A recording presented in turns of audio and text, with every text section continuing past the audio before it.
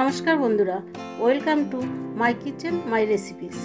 April মাস প্রায় শেষ হতে চলেছে, গরমটাও অনেক বেশি পড়ে গেছে, আমাদের এখন হালকা খাবার খাওয়া উচিত।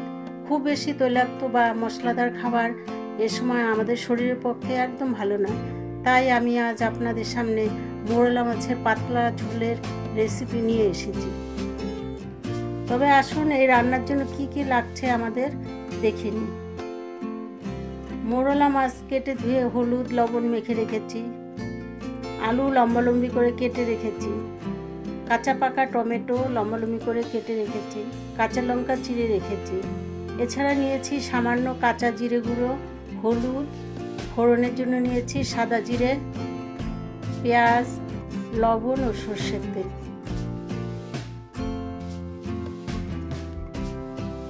প্রথমে মাছগুলো ভেজে নিতে হবে। মাছগুলো ভাজার সময় আঁচটা মিডিয়াম থাকবে। মাছগুলো নাড়ার সময় হালকা হাতে নেড়ে নিতে হবে, নয়তো ভেঙে যাবে।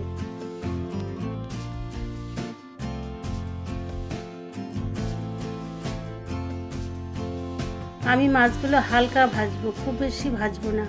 আপনারা যদি বেশি কড়া ভাজা পছন্দ করেন, তবে সেভাবে ভেজে নিতে পারেন।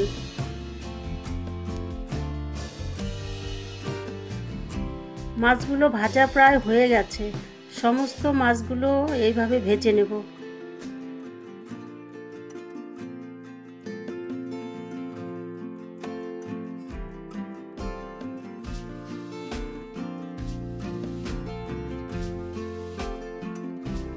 আমি রান্নাটি সর্ষের তেলে করছি। আপনারা চাইলে অন্য তেলের ব্যবহার করতে পারেন।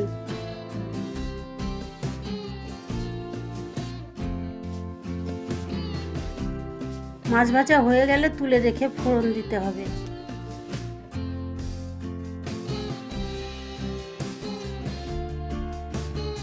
আমি এক চা চামচের মতো সাদা জিরে ফোড়ন দিচ্ছি। আপনারা চাইলে সাদা জিরে না দিয়ে কালো জিরে ফোড়নও দিতে পারেন।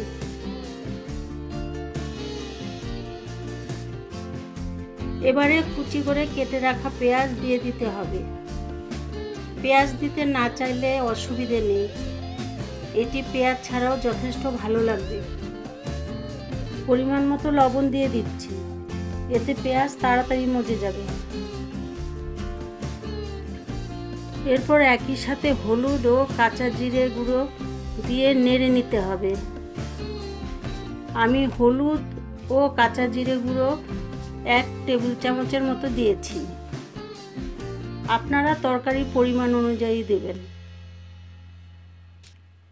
এরপর কাটা আলুগুলো দিয়ে দিতে হবে। একটু মিলিয়ে নিচ্ছি।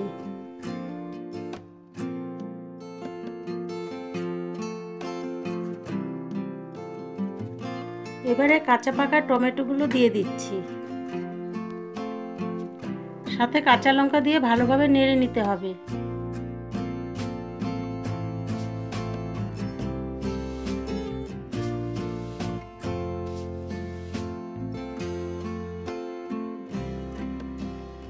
মশলা কষে এলে পরিমাণ মতো জল দিতে হবে। আপনারা যেমন ঝোল রাখতে চান, সে মাত্রায় ঝোল দেবেন।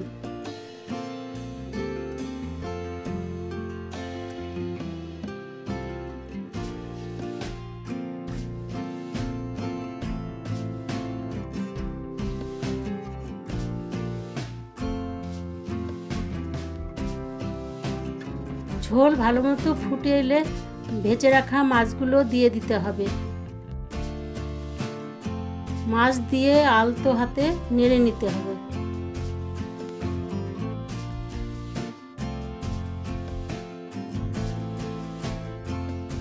মাছ দেওয়ার পর আরও কিছুক্ষণ ভালো করে ফুটতে দিতে হবে।